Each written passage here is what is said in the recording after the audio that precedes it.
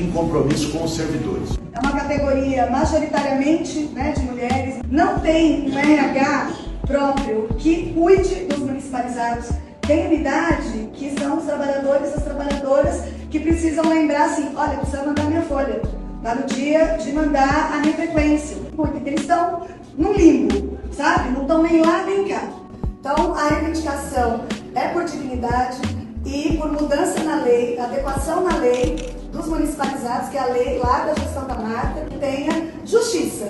Né? E a equiparação, salário igual para trabalho igual. A gente tem a clareza de que não existe o serviço público valorizado na conta se o servidor não for valorizado. Não dá para você achar que você vai ter um SUS exemplar, do jeito que a gente quer, que atenda bem todo mundo na ponta, se o servidor de saúde está maltratado, não vai, não vai funcionar. Porque o serviço público é feito de gente, é feito de ser humano, não é máquina, não é planilha.